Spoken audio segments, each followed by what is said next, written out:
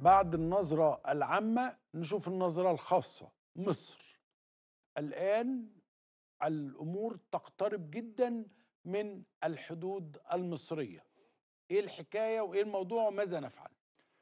أستاذ عمرو ما أقوله الآن لا يقال أم لم يقال في أغلب ال- يعني المنصات الإعلامية على الأقل بالصراحة التي سوف أتحدث بها. اتفضل يا فندم. مصر والعلاقات المصرية الإسرائيلية إلى ما قبل 7 أكتوبر كانت علاقات جيدة. ما بعد 7 أكتوبر أستطيع أن أصفها بأنها علاقات متوترة وربما متوترة جدا.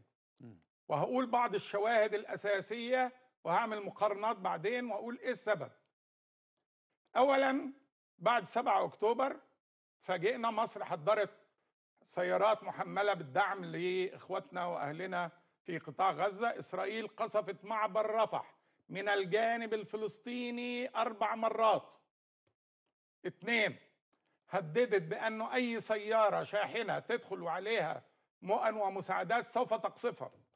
ثلاثة بعد الجهد الدبلوماسي والضغط المصري والدولي سمحت إسرائيل بنقطة إنه 20 عربية ماشي قال لك لا ال 20 عربية دول ما يدخلوش على غزة خان يونس للأونروا. لا ده يروحوا العوجة الأول. يتفتشوا ولما يرجعوا ينزلوا بضاعتهم وينقلوها على شاحنات فلسطينية. أما الشاحنات المصرية لا ما تخشش. طيب ماشي. المرة اللي فاتت قلنا إن وقفوا الإمدادات بالغاز من حقل تمار. طيب إيه كمان؟ بس رجعوها. رجعوها بس قطعوها في الأول. ده جزء من يعني التوتر في العلاقة. الأهم المصريين الموجودين في قطاع غزة سواء مصريين أو متجنسين مصريا واحدة ست مصرية متجوزة واحد فلسطيني وجابت لأولادها جنسية وهكذا وعددهم يفوق ما بين 30 إلى 40 ألف وبعض التقديرات أكتر من كده. أنا عشان مصري أروح من أي بلد أنا فيها. بقضى تذكرة بركب طيارة ولا أتوبيس وبروح بلدي. إذا بلدي ليها عليا حاجة بتوقفني بقى في المطار أو بتحولني أو بتقول لي مع السلامة أو أي حاجة. الآن عشان أي مصري يطلع من قطاع غزة بيبعت باسبوره الأول للسفارة المصرية في رام الله. والسفارة المصرية في رام الله تبعته للإسرائيليين والإسرائيليين يشيكوا عليه. ده كان ليه علاقة بحماس ولا ملوش إذا ملوش بتديله أوكي اطلع إذا ليه بتقول لك لأ ما يطلعش. أنت عايز تقول إن المصريين بيسلموا الباسبورات بتاعت المصريين للإسرائيليين؟ بيبعتها للإمار... لسفارتنا في رام الله للسفارة المصرية في رام الله. ثم؟ السفارة المصرية في رام الله بتبعت كشوفات للإسرائيليين بيشيكوا عليها. وده مش بس للمصريين بس للمصريين بالذات لكل الجنسيات الأخرى. عشان أي double nationality يطلع لازم الإسرائيليين يشيكوا عليه. إذا ليه علاقة بحماس بيقعد. حتى لو كان معاه جنسية أمريكية بس للمصريين يبعت باسبوره أو هويته طب إيه سبب التوتر؟ السبب ده إيه ليه سبب التوتر؟ هنعمل مقارنة بس قبل ما نقول سبب التوتر بإخواتنا وأشقائنا وحبايبنا وربنا يزيدهم بدل المستشفى يعملوا لنا 50 مستشفى في غزة لأنه غزة محتاجة 50 مستشفى. مستشفيات آه، ميدانية في هذه في وسط هذه الأزمة الأردن تمكن وهو الذي سحب سفيره من إسرائيل من إسقاط مواد طبية بطيارات أردنية دخلت فوق غزة وسمحت إسرائيل لها بإسقاط مواد طبية من الجو ثلاث مرات مش مرة واحدة. ثم سمحت إسرائيل ل 40 شاحنة زي ما حضراتكم شايفين 40 شاحنة تدخل وعليها 117 ودي تبع ال ال ال فيها مولدات. كهرباء كمان طبعا وولي العهد الأردني جه على آه، العريش. العريش والتقى بالاطقم وقال لهم شدوا حيلكم دول شعبنا ولازم نساعده إلى آخره أنا بقول مرة تانية هذا جهد مشكور واخوي وعزيز علينا ولو كل الدول العربية كل واحد يقدر يدخل مستشفى يا ريت. الإمارات عملت كده. يعني ما هنتكلم بقى. الإما... سمحوا للإمارات بإدخال مستشفى تاني. طيب إيه بقى المشكلة برضه 160 ال- إيه- أنا ممنوع أدخل؟ إيه؟ أنا ممنوع أدخل شاحنتي. شاحنتي اللي عليها دواء وأكل ممنوع تدخل لخان يونس. ليه؟ للأونروا. لا. بتدخل على رفح وتروح تتفتش وترجع تنزل حمولتها على شاحنة فلسطينية ولا تدخل هي إلى خان يونس. و40 شاحنة دخلوا يا ريت يكونوا ألف عشان ما حدش يفهم غلط. يا ريت يكونوا ألف فأنت شاحنه عربية. بتقول أن هناك تفرقة في المعاملة يعني عاملوا الإماراتيين لماذا والأردنيين أحسن أحسن من المصريين. أنت بتقول كده. لماذا؟ نعم. وقلت لك شواهد أخرى. مش بس ما بيدخلش عربياتي ده طلع عين أهلي وعشان أطلع المصريين بره طيب لماذا؟ أيوه بس في نفس الوقت هو بيقعد معاك في مفاوضات يقعد و- أهلا وسهلا و- لأن أنت أمال بتخدمه. امال أنت لا أمال آه. أنت بتعمل الهدن إزاي يعني؟ أنت أنت كل ال... أنت طرف كل لا كل الرهاين نعم. كل الرهاين الإسرائيليين معديين من عندك. نعم لا بيطلعوا من جوه من جوه ال- المعبر من جوه معبر رفح وانت في ناس جوه. افي دختر مثلا ده كان وزير الامن الداخلي. قال ما تعتمدوش على حد غير على المصريين. المصريين طبعاً. أكثر مصداقية. ليه؟ لأنه أيوه أيوه. الآخرين في- منين؟ هكمل لك؟ هقول لك منين آه، هقول لك منين. ليه قال كده؟ قال لأنه المصريين ما عندهمش أجندات بيخدموا تيارات سياسية أخرى. ابي دختر وآخرين. بس لا دول مجموعة. ليه بقى بتعاملوا كده المصريين؟ لأنه المصري لأنه الإسرائيليين عندهم مشكلتين معانا. مشكلة أولانية بيقولوا إن إحنا عرفنا نتيجة علاقاتنا بحماس وإن إحنا غزة دي بتاعتنا مفروض يعني وبنعرف كل حجر وراه إيه ها؟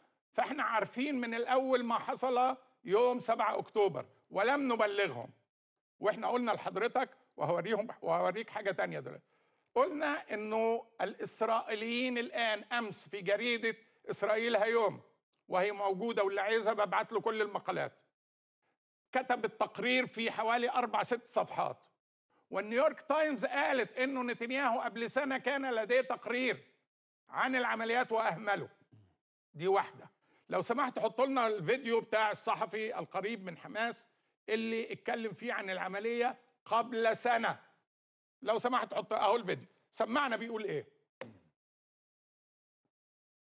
أنا بقول لك غزة راح على مواجهة شاملة وواسعة مع الإسرائيليين بالصواريخ على تل أبيب وبالصواريخ على مطار بن غوريون وأنا بقول لك وانقع لساني وشاهد بعد أيام. واحتلال مستوطنات أنا أقول لك سيتم احتلال مستوطنات وأخذ المستوطنين كلهم أسرى بالمرحلة القادمة. وسيفاجأ الإسرائيليون بقدرة المقاومة وإمكانيات المقاومة مفاجأة المقاومة وما تعد المقاومة تحت الأرض بالشكل الذي يجبر الجيش الإسرائيلي للاعتراف بحقيقة غزة القادرة على أن تغير هذه المعادلة سجل عني سيتم احتلال مستوطنات بلاش أقول احتلال استرداد أرض فلسطينية محتلة من تسمع تاني حضرتك.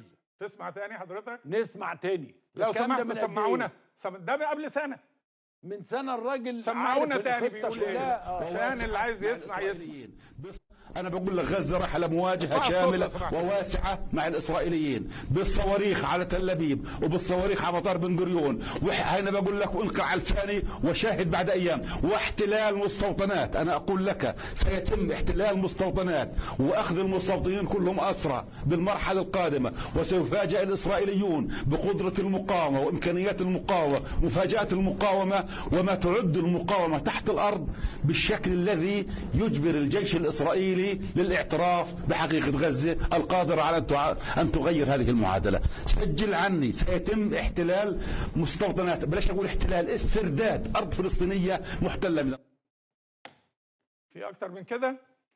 عشان طب يعني هي الاستخبارات- نايمة على ودانها للدرجات دي يعني؟ آه هو بقى الراجل اللي كتب التقرير النهارده في امبارح يعني آسف 1 12 في إسرائيل هيوم وهو جرنان المفروض كان مع نتنياهو. قلب عليه تماما النهارده هو بيقول بالظبط كده.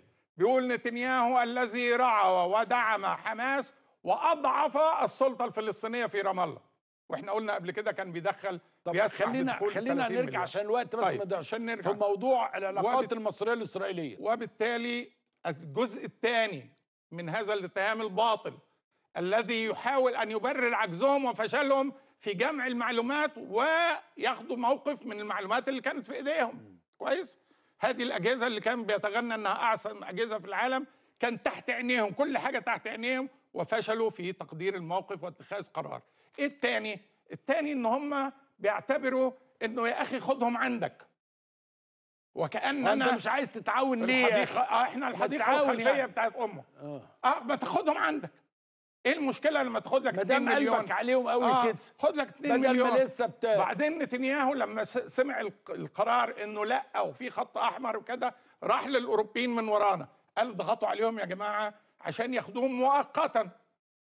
وعملوا لهم حوافز. خلوهم ياخدوهم مؤقتا. قالوا له لأ ولا دي كمان. كويس؟ حركوا 10 سيناتورز في الولايات المتحدة الأمريكية. عملوا لنا قايمة إنه 2.5 مليون نوزعهم حسب السكان. مصر عندها 105 مليون تاخد مليون وتاخد مليار و100 ألف ولا 100 مليون. والعراق تاخد كذا. واحدة. يعني ناخد مليون فلسطيني بمليار دولار؟ بمليار و100 رخيص ها؟ يعني إيه؟ ده ده طلعت عيش في مصر. عمل جدول؟ طلع دي. آه. طلعت عيش في يعني ده الصبح كده أما الدولة دي بترمي عيش لل 75 مليون اللي بياكلوا عيش إيه الرقم يعني طيب. دي بس دي واحدة بس. معلش أصل أنا الحتة دي بقى بتجنني دايما يكون في فلوس. لا لا لا لا لا. إيه العرض يعني؟ ده مش عرض ده كتلة موجودة 10 لا لا يا يا آه آه يا, يا آه. فندم يا فندم. اتفضل. إيه الأوفر يعني؟ أنا أنا أنا عندي قناعة عالية جدا إنه لم يتم تقديم أوفر واضح في المسألة دي خالص. لا لا لم لم يتم آه. على الإطلاق. آه أنا أنا رأيي ولما سئلوا قالوا لم يتم أي عرض على الإطلاق حتى يعني نفكر ونتناقش في دي الموضوع. نكتة يعني. آه وما تحطهمش في سينا حطهم جوه في القاهرة. عشان إذا أنت خايف من مشكلة سينا ويعملوا لك مشكلة في سينا طيب وزعهم في القاهرة. فيعملوا لك مشكلة في ده القاهره الجدول أهو حضرتك. أهو الجدول أهو. آه مصر تاخد آه مليون. مليون. آه. وده يعني فاصل آه فاصل تسعة من عشرة أو واحد من عشرة يعني وياخدوا مليار و300 مليون. وتركيا والعراق واليمن. طيب إذا إحنا عندنا مشكلتين مع فع... طب, آه طب دي واحدة معلش اتفضل. أنا آسف. الأسعار بس. مليار يعني العراق دي واحدة يا فندم آه. بس. ال- العراق تاخد آه 43000 بمليار دولار وإحنا ناخد لا مفيش 3 مليار. مفيش ت... العراق هتاخد مليار دولار. هتاخد ربع مليون. وتاخد ربع مليون. آه. وإحنا ناخد مليون بمليون بمليار و300 آه، مش طب عادل والله. حتى افصل مش عادل والله. يعني افصل في الس... يعني اللي ياخد آه، مليون آه، فلسطيني زي اللي ياخد 250 ألف. ويبقى الفرق 300 مليون. فالمشكلة مصر- مصر. آه. اتفضل. يا فندم ده كلام فارغ. آه، أنا مش هفاصل أصل في الموضوع لأنه من حيث المبدأ لا. أيوه يا ف... لا غير لا. أنا رأيي إن كل هذه الأشياء أوهام يعني. طبعا. لا أنا قلت لك دي سيناتورز آه. في الولايات المتحدة مزقوقين طبعا. وقلت لك نتنياهو قدم طلبا للاتحاد الأوروبي للضغط عشان ياخدوا مؤقتا يعني أنا المؤقتا. متأكد رغم إن هو ممكن ما يكونش المعلومات موجودة إن الرئيس النهارده وهو قاعد مع كاميلا هاريس نائبة الرئيس الأمريكي عدلها للمرة المليون ومية. نعم. إنه مصر لا تقبل التهجير. طيب وإنه كاميلا هاريس أكيد قالت له يا سيادة الرئيس وإحنا كمان نرفض هذا الأمر. طيب. أنا مش جايب معلومة لا، أنا لا،. بقول لك بالبداهة. okay، صحيح. أكيد الجملتين دول تم خلينا خلينا تبادلهم نضرب الاحتمال بقى. آه. إحنا قلنا لا والأمريكان قالوا لا للتهجير القسري والأوروبيين قالوا لا للتهجير القسري. كويس؟ إحنا الآن أمام واقع جديد. الواقع الجديد ده بيقول إنه نتيجة الحرب والعمليات العسكرية التي ستنشب خلال 48 ساعة الجاية أو يعني في خلال الأيام القليلة الجاية عبال ما يرتبوا زي ما قلنا تهجير الناس أو إزاحتهم من على الجنوب إلى إلى الغرب إلى إلى البحر إلى شط آه. البحر ويفضوا الناس هتبتدي الجبهة تسخن واستخدام بقى كل ال- الأدوات وهتشوف صواريخ. وقنابل قربك الناس هتضطر هنعمل سيناريو احتمال سيناريو إنه الناس تحت الضغط العسكري دي تندفع باتجاه رفح. الشريط الحدودي بتاعنا. رفح والشريط الحدودي. كل الشريط الحدودي مبني اسمنت وفي عليه سلك شايك. ماذا لو اتهد ده أو راحوا عند رفح عشان الصورة اللي عايزها نتنياهو؟ إنه هو الفلسطينيين أهو والجيش المصري أهو الناحية الثانية واقف بباروته العسكري ومانع خروج دول. النتيجة إنه مضاعفة الضغوط اللي عليك دوليا ومعلش بقى دول ولاد عمنا ودول أو الفلسطينيين بشكل مؤقت. وبيموتوا. ما هو ده قصة مؤقت اللي قلنا عليه. ولاد عمنا ومجاهدين وبيموتوا. طب طلعهم قعدهم شوية وبعدين يبقوا يرجعوا. هنقول لك ضمانات إنهم يرجعوا ونعمل لك حوافز وعقوبات وإلى آخره وكل ده. ماذا أنت فاعل؟ هم حاطينك في سؤال كبير. أنا عندي هغامر وأقول لك اقتراح تاني. الاقتراح ده كان في السيناريوهات اللي بحثت في الدوحة مع مدير السي آي اي والموساد ومدير ال- ال- المخابرات المصرية المصرية. بحضور آه، آه، آه، رئيس الوزراء القطري رئيس الوزراء القطري مستقبل حماس. حماس دلوقتي مش حماس كلها حماس حاجة واحدة. عندنا المجموعة السبعة البررة اللي موجودين في قطر وإحنا اتكلمنا عنهم قبل كده. ودول لا علاقة لهم بالمناسبة بال- بحماس اللي جوه. حماس اللي جوه السنوار والمجموعة اللي معاه مروان عيسى والقسام. وهم قوات القسام. آه. في كان يعني آه، آه، الإسرائيليين حاطين 45 اسم آه، اتشطب نتيجة العمليات العسكرية. سبعة من مجلس الشورى أو من المكتب السياسي آسف من المكتب السياسي لحماس قتلوا أثناء العمليات وفي الأنفاق تحت. وفي حوالي 20 من قادة الصف الأول اللي موجودين في شمال غزة وفي غزة. منهم ثلاثة قادة ألوية النهارده بقوا رابع بتاع جباليا ده كويس؟ طيب أنت مستني إيه؟ هضرب مثال صغير ب لأنه ده له علاقة باللي قلناه قلته لك على التليفون إنه لما مشير المصري إدى التصريح لوكالة الأنباء الروسية ثم انسحب. وإحنا في بيروت الرئيس أبو عمار وكل المقاومة الفلسطينية اللي كانت أكبر من حماس 100 مرة حصرنا في خمسة كيلو متر مربع في بيروت. والإسرائيليين في البحر وفي الجو بالمدفعية وفي طبعا. الدبابات في الخمسة كيلو. وقصف يا عمي 88 يوم. أيوه. فجاء رئيس الوزراء اللبناني اسمه الوزان الله يرحمه إذا ميت ولا عايش. قال أبو عمار وقال له يا أخ أبو عمار هل أنت منتظر بجعة سوداء تعدي؟ البجعة السوداء ده اصطلاح استراتيجي إنه حدث مفاجئ لم تكن تتوقعه. أيوه طبعا آه. طب أنت مستفيد بجعه سوداء هتعدي الاتحاد السوفيتي كان ايامها الاتحاد السوفيتي. الاتحاد السوفيتي هيتدخل ويعمل إنذار زي اللي اتعمل في ال 56 الولايات المتحدة الأمريكية هتقول للإسرائيليين كفاية بقى سيبوهم السعودية هتتدخل ضد- مع الأمريكان عشان تخف عنكم الحرب. أي حاجة في الدنيا بجعه سوداء هتعدي قدامك؟ قال له لا. قال له روح على المفاوضات يا أخ أبو عمار. ففيليب حبيب كان موجود ودخلنا في مفاوضات مبعوث. الامريكي. لأنه شارون كان ينوي إنه ياخد أبو عمار في قفص حديد ويعرضه في تل أبيب هو والقيادة الفلسطينية زي ما هم عايزين يعملوا مع قاده حماس دلوقتي إحنا طبعا قلنا never ولو هنستشهد كل أبو عمار قال يعني هبت رياح الجنة وأنا أموت شهيد ولا إنه يحصل فينا وفي شعبي أي حاجة دخلت المفاوضات المفاوضات انتهى بخروج آمن كل واحد يطلع معاه باروده كلاشن أيوة. وشنطه صغيرة على. السفن وتوزعنا إلى ست دول. كويس؟ منها تونس إحنا مشينا أنا شخصيا ومجموعتي طلعنا قلنا إن إحنا طالعين على سوريا برا وما طلعناش وقعدنا في البقاع واسرنا ثمان جنود إسرائيليين. قبل أسبوع كان ذكرى 30 سنة على واحدة من أكبر عمليات التبادل وأنا معايا بطاقات الإسرائيليين. أهي. دول عسكريين إسرائيليين من الثمانيه أهم. دي بطاقات عسكريين إسرائيليين من الثمانيه ما خدوهاش وهم ماشيين؟ لا ما دول كان عندي. ياخدوها فين؟ الله ياخدهم. وطلعنا بيهم 5000 أسير. صفينا معسكر أنصار اللي في جنوب لبنان اللي كان فيه أسرى لبنانيين وفلسطينيين. طلعنا 14 واحد من ال 48 وطلعنا 134 من الضفة الغربية ثم كان الاثنين اللي تنازلنا عنهم عشان نطلع طب عايزين نرجع. لموضوع مصر. آه، نرجع طب. للموضوع. طيب كيف تحل هذه الأزمة؟ هل في بجعة بيضاء بجعة سوداء؟ آسف. هتعدي قدام السنوار بكل الحسابات؟ هيصمد ويعمل خسائر في الإسرائيليين ويدمر 100 دبابة ويقتل 100 إسرائيلي تاني ها؟ ويصمد. هل في بجعة سوداء هتعدي؟ لا. هل في متغير هيحصل؟ لا. حد يقول لي من المقاومة حد يرد عليا من المقاومة. جو ما حدش من اللي بره اللي قاعدين يتاجروا باسم الفلسطينيين اللي جوه. لأن هم ما يعرفوش عذابات الفلسطينيين اللي جوه. طب الناس اللي نايمة في الشارع. أيوة. إيه الاقتراح؟ أيوة. الاقتراح هو خروج آمن. زي عرفات. مشير المصري عمل حديث وأعتقد إنه استشهد هو كمان.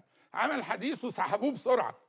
قال فيه إنه اللي معطل الصفقة هو أن تضمن إسرائيل إحنا خروجه. سألنا الإخوة في طيب. حماس وأنا سألت هنية نفسه يا عم ما حدش هيقول لك لأنه ده عايز يتاجر بالقضية. ده بيتاجر بدم الشعب مش هي- هيقول لك لأ لأنه قاعد في الدوحة. هو قاعد على الأرض وبياكل هوا في في في خان يونس وفي رفح. مش لاقي ولاده ياكلوا بي- بيلموا الكرتون عشان يولعوا بيه. ده قاعد في الدوحة في قصر. مش قاعد في في وسط الناس. بيلم كرتون وحطب. عشان يولع نار.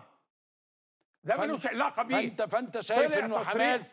إلى جنب تصريح مشير المصري ده. طلع تقرير بدون عنوان. دي يا أستاذ آه، عمرو اللي بيقولوا عليها رسائل لمن يهمه الأمر. أنا ببعت رسالة في الهواء إذا بيهمك بتاخدها.